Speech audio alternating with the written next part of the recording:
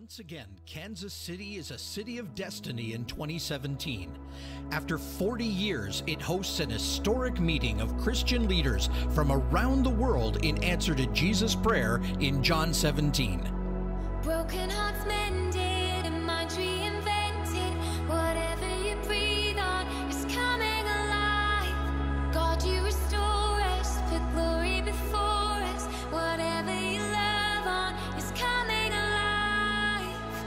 Please put this date on your calendar October the 24th through the 26th. And you make us, you make us new. You're invited to worship, pray, and come together with fellow members of the body of Christ as we seek Jesus and his heart for unity and revival.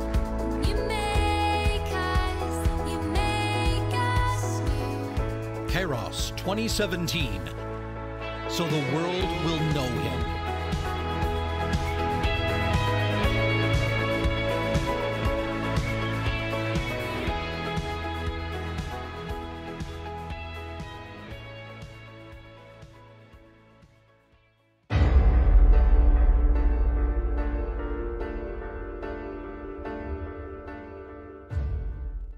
I just heard, I heard the Lord say this uh, just two days ago. 2018 is the year of the Holy Ghost and fire.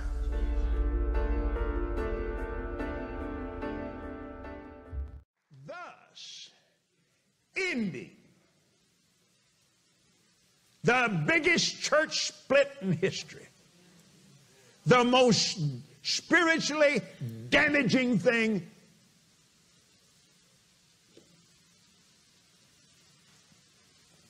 is over. It's over.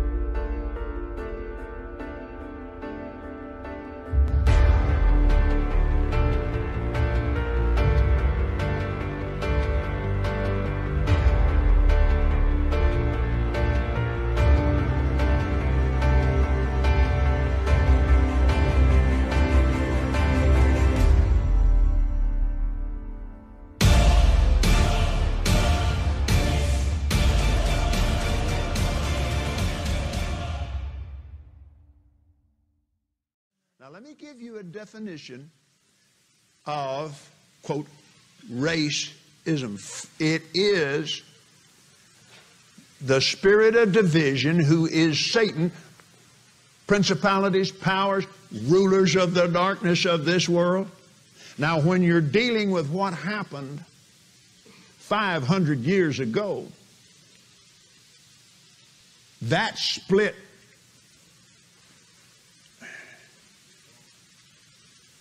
got into the hands of wicked spirits in heavenly places because it is for 500 years. What were we called? Protesters. What is a protest? Strife.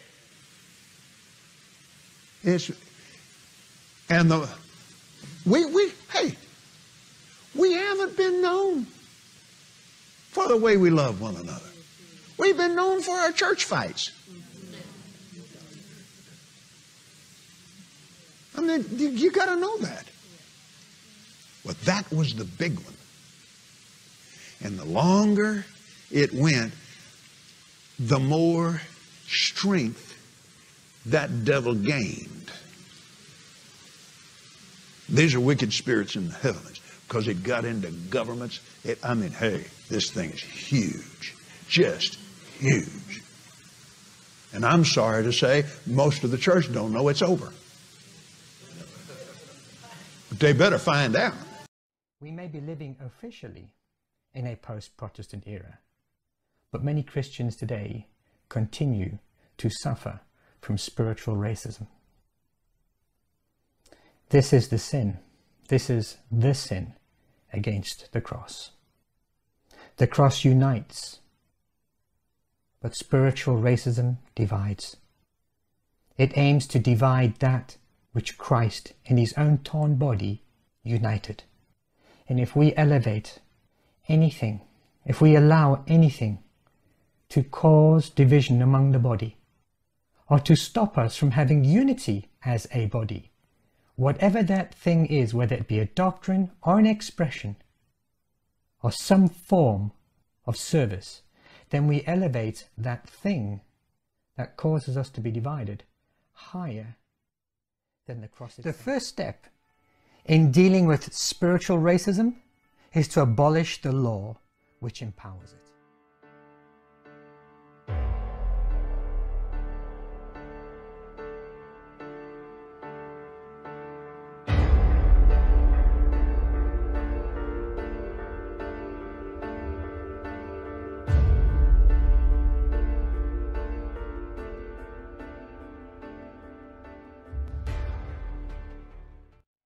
We need not to continue in the sins of our fathers.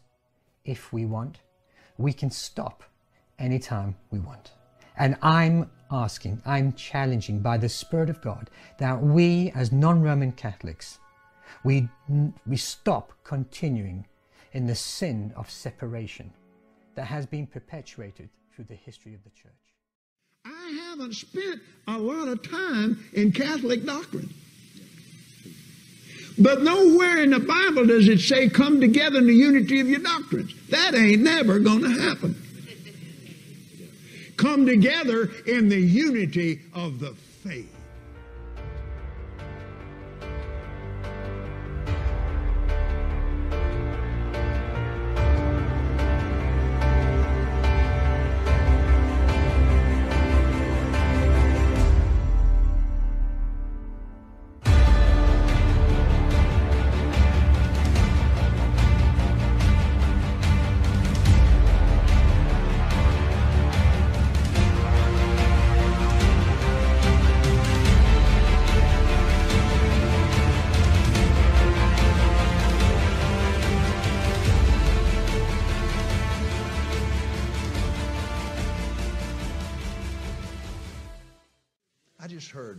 Heard the Lord say this uh, just two days ago.